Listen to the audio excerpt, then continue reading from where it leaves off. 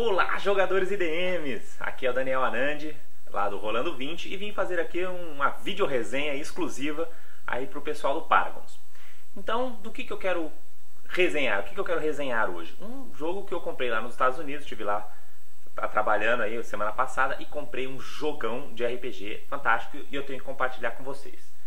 É este garotinho aqui, é o Warhammer Fantasy Roleplay. Talvez fique tudo invertido, né, por conta do efeito câmera, mas enfim, vocês podem ver que a capa é essa aqui. Essa aqui é a luva, na verdade, que vem em volta da caixa gigante. Né, que é a parte de trás, mostrando os componentes, né, os inúmeros componentes que nós vamos mostrar devagarzinho aqui para vocês. Olha que bacana, essa aqui é uma luva que abre, né, a gente consegue ver aqui mais detalhes de dos dados e tudo mais. Isso aqui vocês podem obter lá na página da, da Fantasy Flight Games, que é quem produz o jogo. É, essa aqui é a última edição do Warhammer, que é um jogo de fantasia medieval, ao, ao contrário de D&D e esses jogos mais clássicos, ele é um pouco mais dark, assim, um pouco mais sinistro. Então você pode imaginar que ele está mais para Dragon Age do que para D&D. Né? Então você vai ver muito mais sangue, muito mais conflito, muito, né, um espírito mais de cruzadas, as pessoas morrem mais fácil aqui, e vocês vão ver exatamente por quê. É, o que, que vem dentro dessa caixa gigante aqui, certo? Que na verdade é essa caixa gigante aqui, ó. Certo? É esta caixa gigante. Olha o tamanho da criança na minha mão. Pesa. A gente tem uma série de livros aqui dentro. Tá? Então eu vou começar a mostrar os componentes que estão aqui dentro um por um. O primeiro componente que a gente tem é o Guia do Mestre. Né? Tá aqui. Esse aqui é o Tom of Adventure, que é o, o, o guia do DM, que vai explicar pra gente as regras, vai explicar um pouco do cenário. Né? Você vai, vocês vão ver que o livro é todo colorido. Tá? Então é um livro muito lindo por dentro. Tá? Então vocês conseguem ver que ele é todo cheio de, de figuras, ele parece um manual de jogo, ele é super uh, focado, não só na parte de regras, mas também na parte de descrição, ele consegue ser bem claro, ele é muito bem escrito, assim, por gente que sabe escrever manual de jogo, sabe? Ele é bem... Cria... É, o jogo ele é formado por atos, né? Então, é, na verdade são episódios divididos em três atos. Então, um episódio seria uma aventura. A ideia dele é focar sempre em aventuras mais rápidas, né? Não focar muito naquelas aventuras de jogo de RPG de 5 horas, de 6 horas. Você até pode fazer isso, mas nesse caso você vai ter vários episódios numa única sessão. E são aqueles três atos clássicos, né, que você tem uma introdução, um, um, um clímax e uma resolução. Né? Então, em cima desses três atos é onde ele vai é, fazer todo o, o jogo. Né? Inclusive, entre os atos, ele tem até uma etapa que chama o Rally Step, que é uma etapa onde você tem umas funções mecânicas também e tal. Então é bem bacana. Mas a gente vai voltar para cá para descrever todas essas coisas de mecânica e o que, que muda e tal. Aqui também tem o, é o guia dos monstros, né? então você vai ver que aqui são as descrições dos monstros.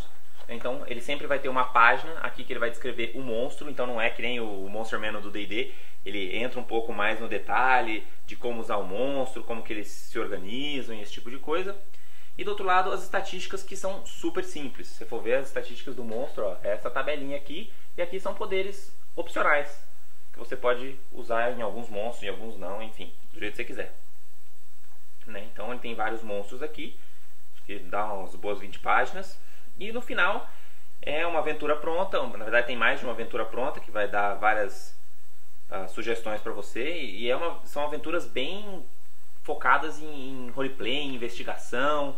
Né? O combate é uma parte importante do Warhammer, lógico, mas está longe de ser o único, único ponto focal. Né? Então vocês vão podem esperar bem mais do que isso. Então esse aqui, guia do mestre. Ok. Depois nós temos o guia básico, o Warhammer Fantasy Rulebook, né? Roleplay Rulebook o livro realmente que vai ter as regras mesmo aqui para os jogadores. Ele vai explicar componente a componente do jogo, como é que funciona, né? Então, desde as fichas de personagens, as fichas de classe, né? Os inúmeros dados diferentes que a gente tem. A gente vai falar dos dados que são muito bacanas. É, os talentos, como você criar personagem, como você as raças, as classes, as classes avançadas que ele chama né, de advanced classes, como você faz testes opostos, como você usar suas cartas, tem lista de equipamentos, né? Então a gente tem as tabelas aqui com os equipamentos, os diversos tipos. Temos. E no final a gente tem um capítulo aqui, não é muito grande, acho que tem umas, um, dois, três, seis, umas 15 páginas que vão explicar tudo pra gente do cenário do Warhammer, que é muito bacana também, né? Tem uns mapas legais aqui, né? Lógico, não são tão detalhados quanto um cenário, por exemplo, de, sei lá, um Forgotten Realms da vida, mas lógico, isso aqui é um livro que tá tudo aqui, né? Então tem muito suplemento de Warhammer que quem quiser conhecer mais o cenário pode ir atrás, ler enfim, descobrir mais sobre esse cenário, ou mesmo jogar o Warhammer Online, que fala um monte de coisa sobre esse cenário. Mas aqui já tem umas 15 páginas para deixar qualquer jogador com vontade de aventurar nessa, nesse cenário. Aí a gente tem aqui um catálogo que vem lá com os últimos jogos da Final Fantasy, vamos precisar disso agora. Temos mais dois manuais de regras, né, que são esses aqui, que é o Guia do Mago. Aqui ele vai explicar como você fazer as magias de mago, vai explicar como você utiliza essas magias. Ele tem um conceito muito bacana, as magias de mago, que basicamente é o seguinte: você, para fazer magia, você precisa de ter mana. Ele não chama exatamente de mana, ele chama de. Acho que é pontos de magia. Deixa eu ver como é que ele chama. Ele chama de power, na verdade, poder. Então, para você mandar uma magia, você precisa de juntar poder. Então, por exemplo, você fazer um Flame Blast, que é mandar um raio de fogo ali, né? É o exemplo que ele dá aqui nessa cartinha, no Flame Blast. Você precisa juntar seis pontos de poder. Então, o que, que você faz? Você usa uma ação que é Channel Power. Basicamente, você fica juntando o seu seu mana, seu poder. Quando você junta esses seis pontos, você senta bola de fogo na galera. O Warhammer é meio old school nesse aspecto, né? Os magos eles morrem muito fácil, mas eles conseguem fazer magias mega destruidoras. Tanto que para você começar eles não recomendam que você faça um mago, porque tem um pouco de mais regras para você aprender, né? Então, mas parece ser uma classe muito legal de jogar. E dependendo da ordem, tem as diversas ordens dos magos, você também vai ter características é, diferentes de ser um mago. E aqui também ele explica um pouquinho sobre essas ordens, como fazer o roleplay e tudo mais. A gente tem um outro que é o dos clérigos, né? A gente tem divindades aqui, essas divindades não são super presentes, mas elas existem e dão poderes mágicos para esses, esses clérigos. Então tem várias divindades aqui que você pode escolher se você for um clérigo e ele tem regras também diferentes. Quem quiser jogar de clérigo é uma regra parecida com a regra de, do mago. A diferença é que você começa a castar magia e, quando, e se você não tiver pontos de uh, piety points, né, que são pontos de piedade, se não me engano que ele chama, você reza. Então você começou a fazer a magia, sei lá, você vai fazer um turn undead, por exemplo. Então você começa a fazer o turn undead. Se você não tiver os pontos de piedade, você vai fazendo ações de orar, de rezar, né, de pedir para sua divindade muito. E aí, eventualmente, você irá conseguir castar aquela magia e aí você resolve a ação de Turn Undead, por exemplo. Então, o guia dos, dos clérigos. Muito bem, aí a gente começa a entrar na caixa. Os primeiros tipos de carta que a gente tem são as cartas de localidade. Né? Então, vou dar um exemplo aqui, por exemplo, tem que botar aqui na luz para dar para ver. Né? Então, isso aqui é uma carta de localidade. Desse lado a gente tem um desenho, certo? E no verso a gente tem explica as explicações do que, que faz esse local. Então, por exemplo, esse aqui é um cemitério abandonado Tá? Aí tem um textinho falando do, do cemitério abandonado e o que acontece, ah, as chances de ter medo e terror são aumentadas no, no, cemitério. E tem umas regrinhas aqui que depois eu vou explicar quando eu falar dos dados. Para que, que servem essas localidades? A gente não usa mapas no mesmo jeito que o, que o D&D usa, né? A gente vai usar um negócio mais abstrato. Mas a gente pode usar essas cartas de localidade, que a gente tem, sei lá, pelo menos umas 15 pelo menos no básico, para representar os locais onde os jogadores podem estar e dependendo do lugar onde eles estão, vai ter essas, essas modificadores nas regras. Né? Você vai ter mais ou menos opções do que fazer e tal. Então aí tem floresta, Ford, mercado, rio, passagem secreta, Torre do Mago, tem várias localidades nesse grupo de cartas aqui, ó. Vem esse tantinho de carta. Ok? Essas são as localidades. A gente pode ter cartas de itens, certo? A gente só tem uma carta de item, que é esse martelo de Corden, Aqui então ele tem um desenho, aqui ele tem as estatísticas desse, desse item. Só vem essa porque é um item que é descrito na aventura. Né, para os itens mundanos, assim você não vai ter cartinhas bacaninhas, mas a ideia é que se eles publicarem aventuras e tal, podem vir cartas novas com os itens novos. Né? Então, enfim, cartas de item. E aí vem o grosso da coisa, certo? Que vou te mostrar que é um pequeno, um número razoável de cartas. É esse tantinho de cartas, pode ver que são cartas para burro, que são as cartas de ações. São parecidas com as Power Cards do D&D. Né? Então vamos ver aqui uma, uma Power Card a mais simples possível. Né? Essa aqui é uma, é uma carta de ação que todas as pessoas do grupo vão ter. Então tem cinco cópias assim. Se tiver cinco jogadores, cada um vai ter, que é, por exemplo, um ataque melee, um melee strike. Né? Então essa aqui é uma carta que você vai fazer um, um, teste com a sua perícia de arma contra a defesa do alvo. Né? Então você basicamente, se você tiver sucesso, você faz o seu dano. Se tiver um sucesso muito bom, você faz um pouco mais de dano. Se você fizer crítico, você tem vantagem. Se tiver falhas críticas, você também tem desvantagens. Você tanto pode ter ela nesse lado verdinho, quanto ela nesse lado vermelhinho. Qual a diferença? Ela é mais ou menos igual, só que aqui você indica que o seu personagem fez um ataque corpo a corpo na instância agressiva e aqui na instância conservadora. Vou continuar isso aqui depois de eu atender o interfone que está tocando lá embaixo. Continuando com as nossas cartinhas, é... então nós vamos ter essa inúmera, inúmeras cartas, cada uma descrevendo vários tipos de ações. Então você tem desde essas ações básicas que todo mundo pode fazer, até ações especiais, né? por exemplo, ações de, de raças específicas, de classes específicas, é, cartas de cartas sociais, nem, nem todas as cartas são de combate, tem muitas cartas que vão melhorar sua, sua diplomacia, alguma coisa assim. Tem cartas de, de liderança e coisas do tipo, né? então tem um bolo imenso de cartas aqui. E todas elas sempre têm essa questão da instância agressiva e da instância conservadora. Nós vamos ver exatamente como funciona isso daí. Então esse bolo gigante são cartas de ação. Aí nós temos um monte de cartinhas pequenas. Que é também do padrão da Final Flight Games. O que, que, são esse monte de cartinhas aqui? Essas cartinhas têm várias utilidades diferentes. O primeiro bolinho de cartas, que é esse aqui, são as cartas de ferimento. Né? Então vocês estão vendo aqui que tem um desenho de um ferimento aqui, de uma garra, de uma armadura. Cada vez que você tomar um ferimento, você vai tchuf, tchuf, tchuf acumular essas cartinhas. Né? Então você não vai escrever pontos de vida na sua ficha, você não ficar riscando HP, aquela... você não vai ter aquela coisa de escreve, apaga, escreve, apaga, escreve, apaga, né? RPG está acostumado. Você vai simplesmente empilhando essas, essas cartinhas de ferimento, quando tiver maior do que o seu, o seu limiar, né? o seu limite de ferimentos que você suporta, você pum, cai no chão. Se alguém te curar, ótimo, se ninguém te curar, amigão, morreu. No verso de cada uma dessas cartinhas, olha que bacana, nós temos os acertos críticos, temos os ferimentos críticos, na verdade. Então, se você tomar um crítico, você vai ter que pegar uma, um dos seus ferimentos que está aqui, pá, virar desse lado e sofrer as consequências do que está escrito aqui. Esse, ferimento, por exemplo, é um. Você está cuspindo seus dentes fora, então você apanhou legal. Né? Então, faz com que você comece a tomar mais dano crítico além do normal quando você tiver com esse status habilitado.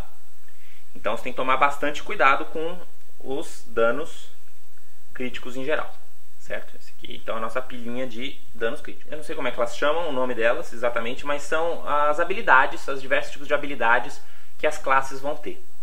Então, uh, eu vou chegar nas classes e explicar, mas cada classe ela tem categorias e dependendo e essas cartinhas têm categorias. Então, por exemplo, é, a gente tem aqui, por exemplo, Quick Wits, né, que é o pensamento rápido, uma pessoa astuta. O que, que significa que uma pessoa é astuta? Significa que você pode é, virar essa carta para remover dois tokens de recarga. Você consegue usar seus poderes mais rápido, por exemplo, se você tiver essa habilidade. Funciona como se fossem talentos, como se fossem feats, né? Você, no caso, você teria que ter uma classe que usa o feat focus, que você tem a categoria focus para você usar esse feat, você coloca do lado da sua ficha e você ganha essa habilidade. Então você pum, vira a cartinha e você remove tokens de para usar novamente uma outra habilidade. E por aí vai. E aí nós temos inúmeras cartinhas, cada uma com a sua categoria. Né? Então cada classe vai ter uma categoria diferente. Tem cartas de reputação, cartas de tática, de foco, de, da, ordem né, de mago que você for. Dependendo da ordem de mago que você for, você vai ter cartas diferentes desse, desse tipo. E por aí vai. A gente também tem as cartas especiais da, das classes. Cada classe ganha uma habilidade. Né? Então se você olhar aqui, ó, tá vendo? Tem uns desenhos bacanas aqui desse lado dessas cartas. São as cartas de classe. Cada classe tem um desenho certo? E desse lado tem o desenho certinho da sua classe, é a mesma que está na, na, sua carta de classe. E a gente tem aqui o que, que significa essa classe. Então, por exemplo, imagina que você seja um, um vamos pensar aqui, um mago aprendiz, por exemplo. Né? Então aqui está o desenho do mago, do mago aprendiz. Né? Você tem habilidade aqui. A habilidade é que sempre que você fizer testes de Spellcraft, você joga um dado branco a mais, que é um dado de fortuna. Né? Então, poderzinho de mago você vai colocar também junto com a sua ficha para você lembrar do seu poderzinho de classe. Então todos eles estão descritos aqui. É, eles fizeram em cartinhas porque nada impede você ter mais de uma carta, você poder escolher entre várias classes. Embora para essas que vem aqui você só tem uma, uma carta de cada. Então aqui, terereu, habilidades de talentos e tal. Aí você tem os status, certo? Você tem uma outra pilha de cartinhas, que são essas aqui, que são as cartas de status. Né? O que, que são essas cartas? É, por exemplo, aqui um exemplo de cartinha.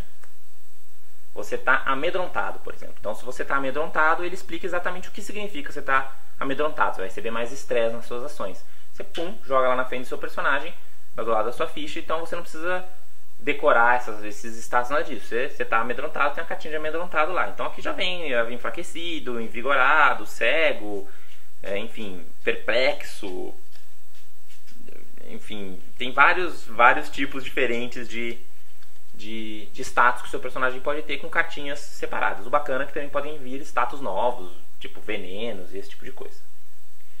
Por fim, nós temos dois, é, mais dois deckzinhos, que são os deckzinhos de falhas críticas de magia, que é esse aqui, e o de falhas críticas, é, esse aqui é o de falhas críticas clericais, esse aqui é o de falhas críticas de mago. Né? Você tem dois decks diferentes. Então, cada vez que você tiver um super tomar um crítico aqui, você vai tirar uma carta dessa aqui e vai acontecer alguma coisa. Vai poder ficar cego, você vai fazer um monte de dano nos seus aliados, você vai. Enfim, tem um monte de coisa que pode acontecer aqui. Você pode ganhar um derangement, você começa a ficar paranoico. É, enfim, tem trocentos vários tipos de, coisas ruins que podem acontecer para você. Tá? Então você tem mais esses dois deckzinhos de erros críticos aqui. Essas são as cartas, tá? Então a gente passou pelo deck de habilidades, várias cartas aí. Então, o que mais? Está longe de acabar as coisas que estão aqui dentro. Esse jogo ele não vem com ah, lugares para você guardar as suas peças, assim como a maior parte dos jogos da da Fantasy Flight também. Então o que, que eu faço? Eu já tenho minhas caixinhas que eu já uso para guardar esse tipo de coisa. Então esse aqui é uma caixinha que eu usei para guardar os tokens marcadores, tá? Que são esses tokens aqui, ó. Não sei se vai dar para ver, pequenininho. Né? São tokenzinhos triangulares, tem de quatro cores diferentes, cada lado é uma cor, que você vai usar para fazer tracking de qualquer tipo de coisa, principalmente no, no nosso tracker mark, que a gente vai explicar o que, que é. Mas você pode usar isso para. Você usa isso como é, contador de quantos rounds falta para você poder usar uma carta de novo. Qualquer tipo de contador de tempo, você vai usar esses marcadores. Então você tem aqui uma caixinha cheia de marcadores desse tipo. Ok? Então, os marcadores. A gente tem ó, outra caixinha onde a gente, onde eu estou guardando é, os dois tipos de counters aqui. Vamos passar pelos dois. O primeiro são os counters de estresse e fadiga. Né? Tá vendo? Esse aqui é um, são três pontos de estresse ou fadiga, cada lado de uma cor. E a gente tem um de um só também. Né? Então, um tokenzinho aqui de estresse ou fadiga que você vai usar para botar na sua ficha para indicar para indicar se o seu personagem tem estresse ou fadiga, tá? Então, se você tiver x pontos de estresse ou x pontos de fadiga, você começa a ter penalidades, enfim, é, um dos contadores do jogo, além dos pontos de vida que você vai usar aquelas cartinhas de ferimento que a gente já comentou, certo? Ok? Nessa caixinha aqui, na, na verdade, eu guardo também é, esses tokens aqui que eu vou falar depois. Então não se preocupem com eles agora. Nós temos um ziplock gigante, nós temos várias miniaturas. Né? São miniaturas de todos os tipos. Tem uma para cada classe de personagem. Então, por exemplo, a gente tem aqui um personagem certo? Uma classe de personagem, de cabeça eu não sei, não aprendi ainda, certo? E a gente tem um saquinho com várias bases para essas miniaturas, só que bacaninha. Então, se eu sou desta classe, eu posso usar esta miniatura para representar meu personagem. Você põe aqui numa basezinha e tchanana, nós temos uma miniatura para colocar na mesa. Mas pô, eu não falei que era um jogo que não tinha miniatura, que no combate não era tão tático? De fato não é. Você não vai usar miniatura para andar quadrado, você vai usar miniatura para mostrar como que os personagens estão agrupados. Ah, esse cara tá com esse orc lutando pra cá, esse cara tá lutando junto com um outro aliado aqui. É uma coisa mais abstrata, não é necessariamente ah, contado a centímetros, sabe? É uma coisa mais só para você ter uma ideia de onde que tá cada um. E se você usar aquelas cartas de localidade também, ah, você tá lutando no cemitério, você tá lutando no centro da cidade. De repente pode ter alguma diferença. Tanto que você não precisa usar essas miniaturas, só para ser bonitinho e legal, né? Tanto que ele tem também marcadores de, de monstros. Vamos ver um exemplo aqui, ó. Um ogro super gigante aqui, ó, que bacana. Mas você pode usar suas miniaturas de D&D, o que você quiser, sem problema nenhum. Certo? Ah, eu esqueci de comentar, mas você também tem, que eu, que eu guardo junto com aqueles outros tokens, são os tokens de, uh, de instância. Se você está na instância conservadora ou se você está na instância agressiva. Tá vendo esse formato aqui? É exatamente o formato para você usar junto com a base. Então, se você ligar aqui a base nesse marcador, você vai poder colocar sua miniaturazinha aqui de pé, aqui em cima, né? E saber pela base se ele, você está numa posição agressiva ou se você está numa posição, quer dizer, essa aqui é a posição conservadora ou numa posição agressiva. Tá? Isso é legal. Isso funciona tanto para os jogadores quanto para os monstros e NPCs. Né? Então, dependendo da instância que você está, muda um pouco as regras do jogo. Perfeito? E aí nós temos um conceito que é utilizado para inúmeras coisas no Warhammer, que é os tracking, os tracking markers. Esse aqui vai dar um pouquinho de trabalho para mostrar para vocês. Vamos ver como eu vou fazer isso. Acho que dá para mostrar na minha mão aqui, ó. Tá vendo? A gente tem uma peça central, são como se fossem pecinhas de quebra-cabeça, tá vendo? A gente tem essa pecinha mais central aqui, certo? E aí você vai ligando essas pecinhas que de um lado elas são vermelhinhas, do outro lado elas são verdinhas.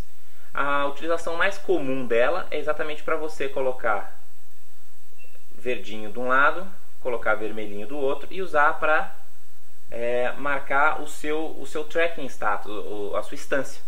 Então vamos botar mais um verdinho aqui desse lado, né? e mais um vermelhinho aqui deste lado.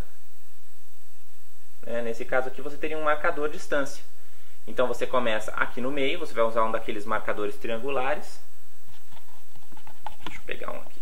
É, bom, tá difícil, então fica depois.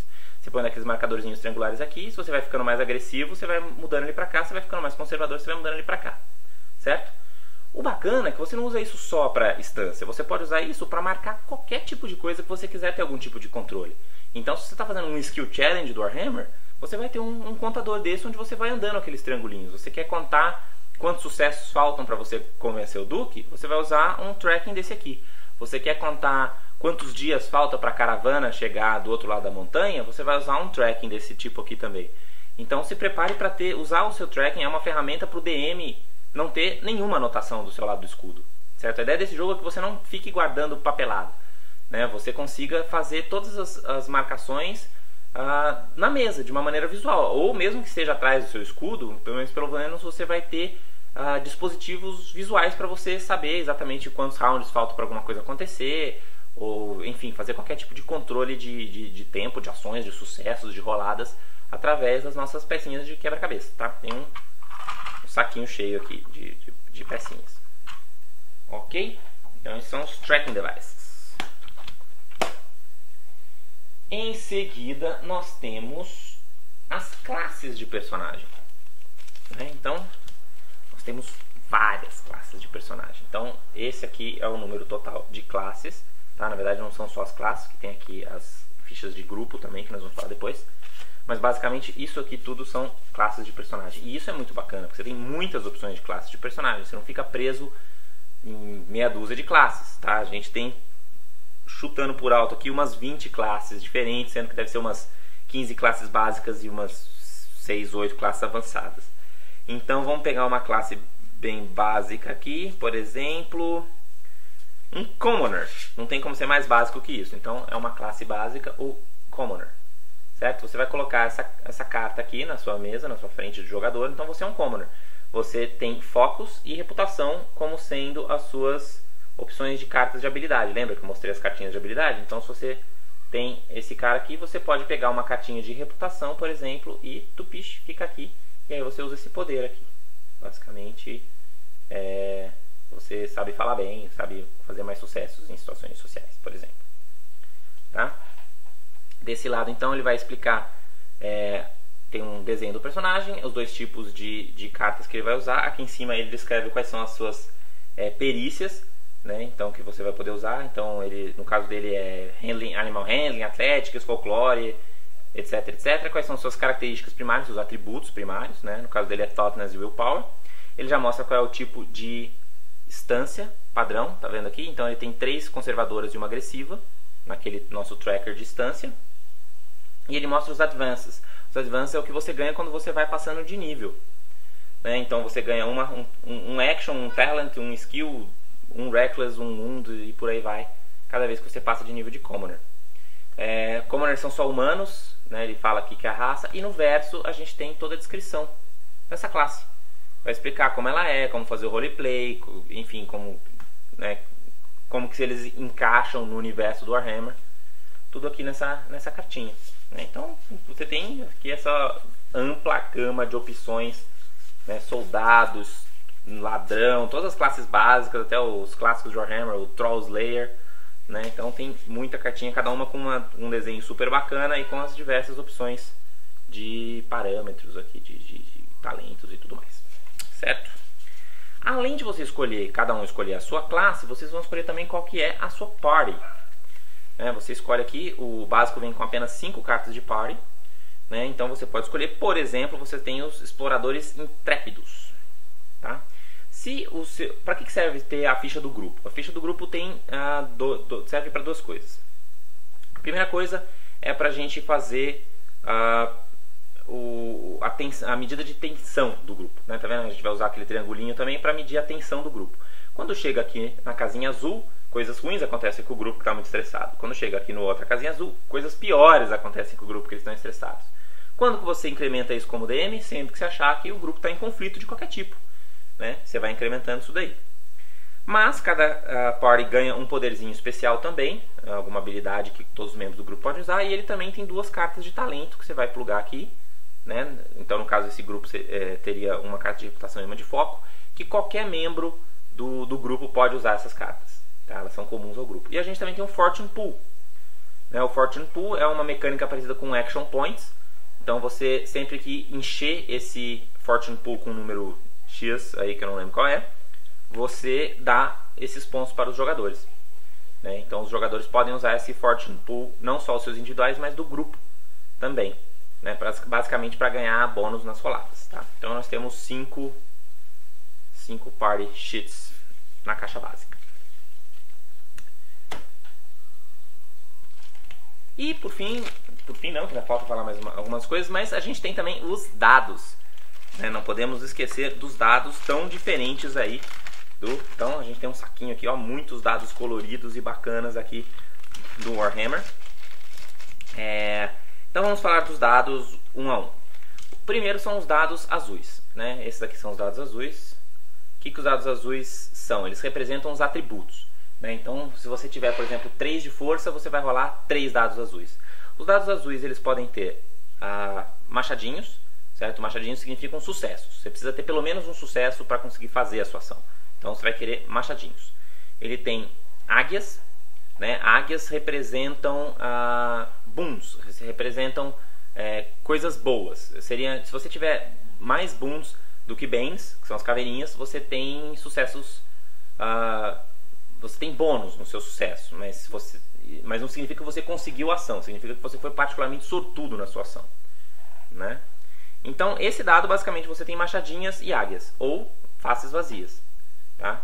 Então, não, não te penaliza de maneira nenhuma ser bom na sua perícia, perfeito? Perfeito.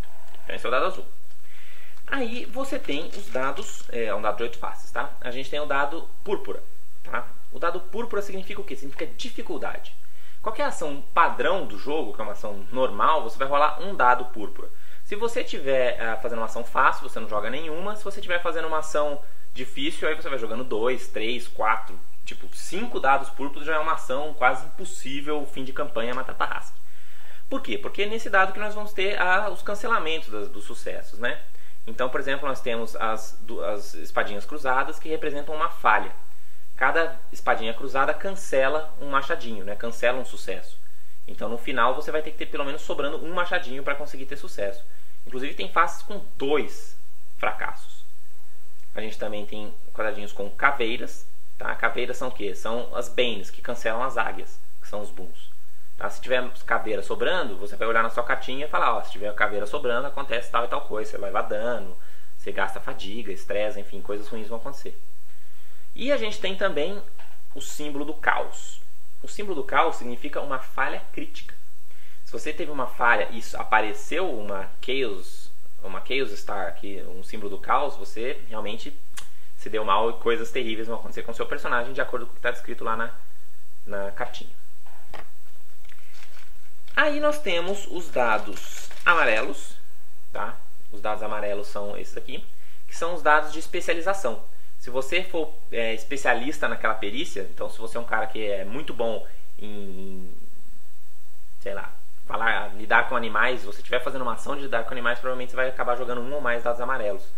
Que eles vão ter mais águias e mais machadinhos para você conseguir fazer. Se você tirar um machadinho com mais, você rola outro dado amarelo. Tá? Se você rolar só um machadinho normal, você tem um machadinho normal. E você tem uma, um símbolo muito especial aqui que é o cometa. Né? que na verdade tem um nome esse cometa e ele é muito importante para a história de Warhammer, mas também não lembro. Mas basicamente ele é o sucesso decisivo, ele é o crítico do Warhammer. Né? Então coisas muito boas vão acontecer se o cometa tiver aparecido para você. Aí nós temos os dados brancos e os dados pretos, tá? Dá para ver os dois aqui. Os dados brancos, eles são os dados da fortuna. Lembra que tinha aqueles pontos da fortuna na, na ficha de, do grupo? você vai jogar dados brancos com isso. O dado branco também é aquele mais dois do DM que o D&D tem. Sempre que você como DM achar que o grupo fez um roleplay muito bom, fizeram alguma coisa bem legal, dá dado branco para ele. Dado branco só tem coisas boas também, né? Machadinhos e, e águias. Tá? Ou faces brancas, mas nunca vai te atrapalhar. Sempre vai te ajudar de alguma maneira, ou não atrapalhar, os dados brancos. E os dados negros são a mesma coisa, só com o contrário. São os, os dados de infortúnio os dados de azar, né? Então eles têm caveirinhas e cancelam sucessos. E você vai colocar isso sempre que tiver alguma coisa atrapalhando a vida dos jogadores. Né? Se a gente estiver lutando debaixo d'água, se o jogador ficou com preguiça e não fez roleplay, ah, não fez roleplay, toma um dadinho preto. Ah, você zoou meu NPC que eu gosto tanto, toma aí cinco dados pretos. Bom, tem cinco dados pretos aqui no, no saco, então não tem problema. Então, são os dados pretos que você vai, também vai poder dar para qualquer tipo de penalidade. Tem vários ferimentos, por exemplo, que vão te dar dados pretos, para ficar um pouco mais difícil a sua situação. E por fim, como se vocês já não tivessem satisfeitos, nós temos mais dois tipos de dados, galera. Nós temos os dados verdes e os dados vermelhos.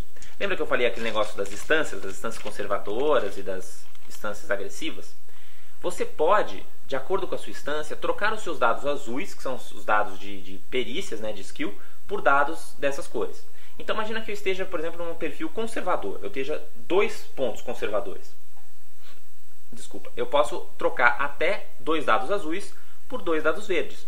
Os dados verdes, eles são um pouco melhores do que os dados azuis, primeiro porque eles têm 10 faces, então tem menos chance de dar erro. E eles têm bem mais machadinhas e, e águias que o normal. E só que tem algumas ampulhetinhas, não sei, não sei se vai dar pra ver. Tá vendo? Ah, acho que, tá, que dá pra ver, tá vendo que tem uma ampulhetinha ali? significa que você está sendo cauteloso. Então, portanto, você tem uma chance maior de acertar, mas por outro lado, você talvez demore um pouco mais para se recuperar daquele movimento. Você vai, né, vai ter mais cooldown nas suas cartas. Então, essa é a penalidade de ser cauteloso. Mas sempre vale a pena você trocar dados azuis por dados verdes. Por outro lado, a gente tem os dados agressivos, né, que são os dados vermelhos. Os dados vermelhos, eles têm muito mais dano. Se for ver aqui, tem é cheio de né, dois, aqui, ó, dois machadinhos, dois machadinhos, é, duas águias e tal. Só que o dado vermelho, às vezes faz com que você até tenta. Tá vendo essa gotinha em cima do martelo? Significa que você vai tomar um estresse ou uma fadiga. Né? Você está lá agressivo, você não está pensando nas consequências. Mesmo que você tome ali um, um danozinho, alguma coisa. Não necessariamente um dano, mas mesmo que você gaste fadiga. E tem caveirinhas também. Né? Por quê? Porque você está se arriscando. Então, de repente, você pode acabar se dando mal sendo agressivo. Mas a chance de cair duas machadinhas, por exemplo, é razoável. Tem várias duas machadinhas aqui. Ok?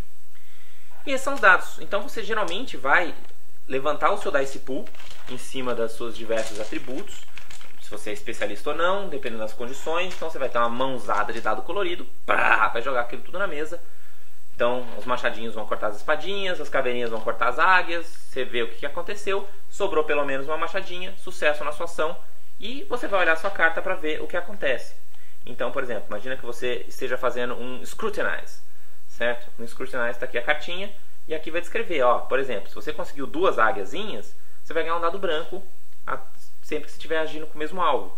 Se você teve uma caveirinha, você dá dados brancos para os oponentes, porque você deu meio pala ali, agora você está chamando a atenção dos oponentes. Então, dependendo de como foi sua rolada de dados, vai acontecer coisas diferentes. E dependendo do modo, se tiver um modo, modo agressivo, por exemplo, você consegue ter três sucessos e fazer coisas bem mais fortes.